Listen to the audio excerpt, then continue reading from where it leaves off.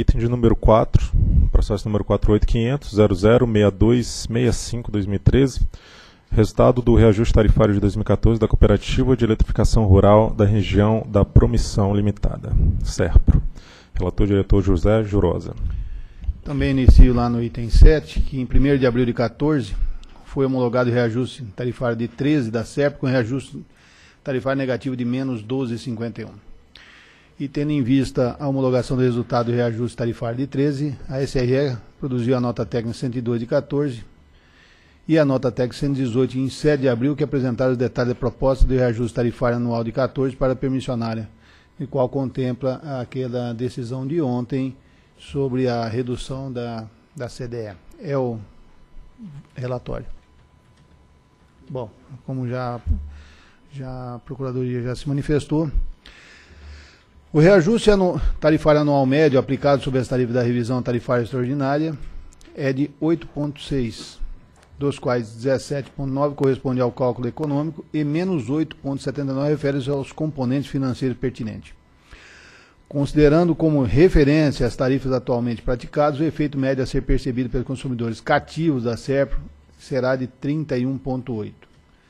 A diferença entre o reajuste médio calculado e o efeito médio percebido pelo consumidor deve-se à alteração do mercado subsidiado pela CDE e ao resultado definitivo da revisão 12 e do reajuste de 13, que se somam todo e, e, e o efeito se produz todo a partir de agora.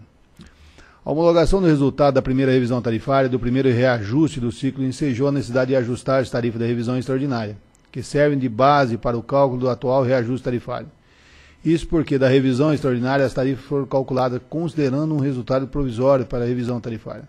Também não foram previstos os efeitos do primeiro reajuste do ciclo nas tarifas da revisão extraordinária.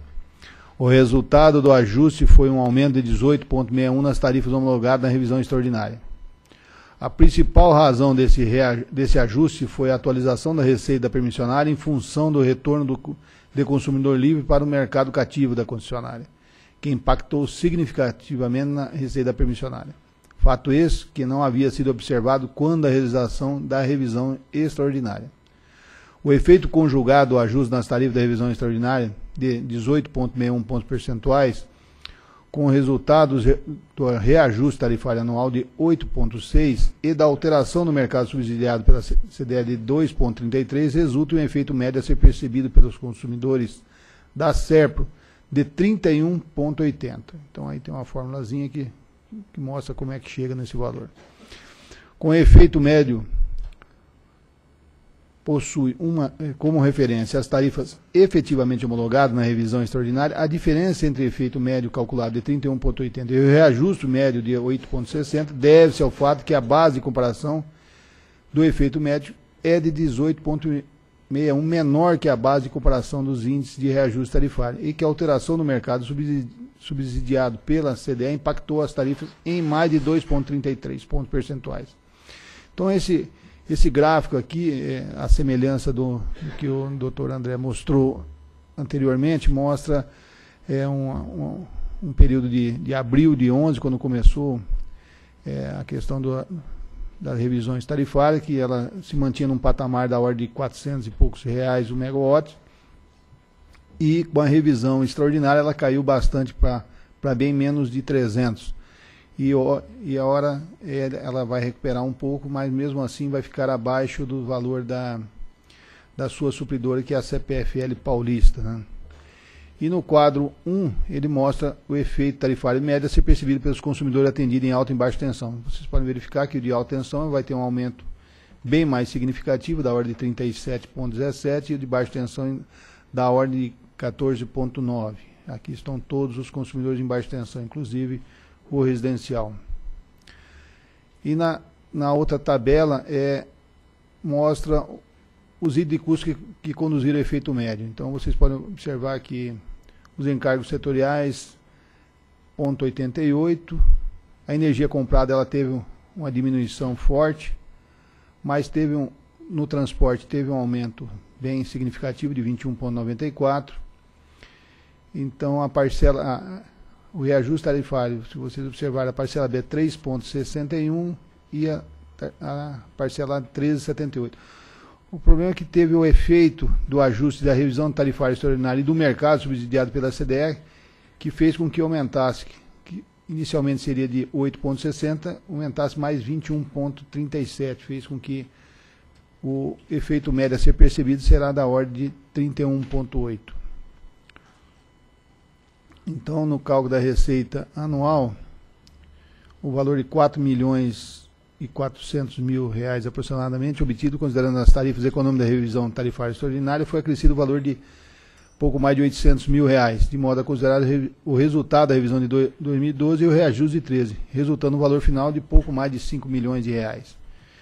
E a revisão de 12 da SERP deveria ter sido realizada em abril de 12 e o reajuste de 13 em abril de 13. Entretanto, foi necessário postergar a realização da revisão e do reajuste, tendo em vista que a metodologia de revisão somente foi aprovada em março de 13 e, portanto, esse, esse ajuste econômico corresponde à diferença entre a receita econômica verificada da concessionária no período de referência e aquela que deveria ter sido recebida, considerando o efeito da revisão definitiva e a realização do reajuste em 2013 nas tarifas da, da revisão tarifária extraordinária. Então, o impacto dessa alteração também faz sentir os componentes financeiros do atual re, reajuste como descrito.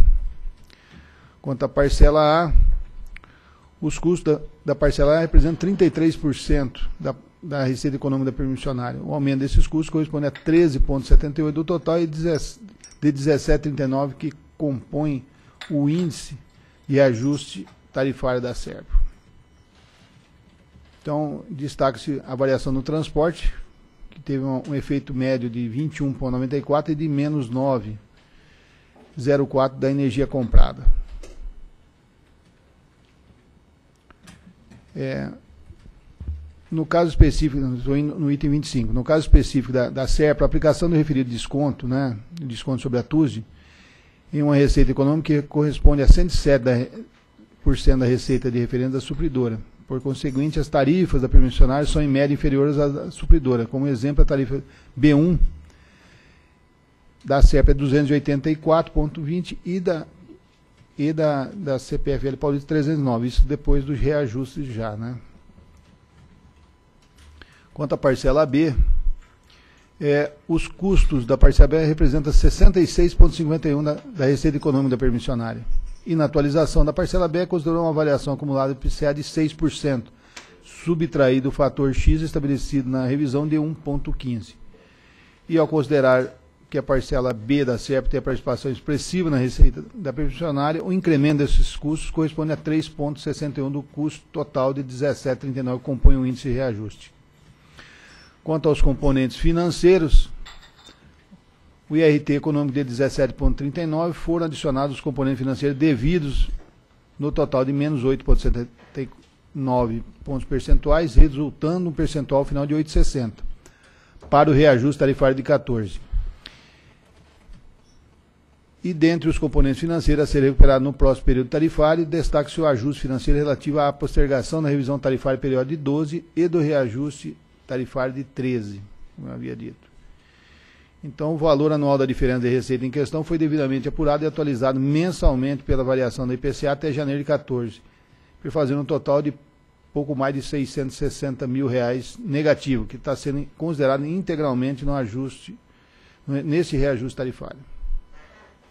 E aí nos gráficos 2 e 3 mostra a composição da receita com tributos, né, que é, o custo da distribuição é da ordem de 5, quase 55%, transmissão 16,4%, o, o custo da energia 6,5% e os encargos aí, tanto setoriais 4,8% mais PIS, CONFINS, e vai dar aí um pouco mais de 20%.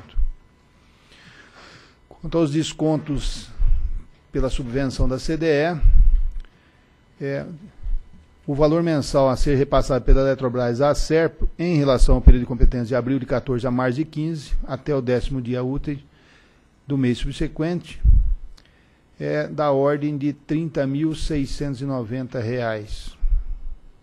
Passo ao dispositivo. Diante do, do exposto do que consta do processo, voto pela aprovação da resolução com o objetivo de homologar o reajuste tarifário anual de 8,60 ser aplicado às tarifas da SERP a partir de 15 de abril de 14, que representa um efeito médio a ser percebido pelos consumidores de 31,80, sobre as tarifas homologado na revisão tarifária extraordinária, pela fixação das tarifas de suprimento da supridora CPFL Paulista para a SERPRO, além de fixar os valores de cota anuais da CDE e do Proinfa, bem como os níveis de desconto sobre a energia e transporte a ser observado nos reajustes tarifários subsequentes. E também homologar o valor mensal de recursos da ser repassado pela Eletrobras à SERPRO, de modo a custear os descontos retirados da estrutura tarifária. É o voto. Bom, senhores, aqui vocês podem observar que, como juntou um reajuste e o efeito da revisão tarifária extraordinária tardio aumentou demais. Não seria esse valor se você já tivesse é, sido considerado lá atrás a tempo, né? Em discussão. Em votação. Eu voto com o relator. Acompanho o relator.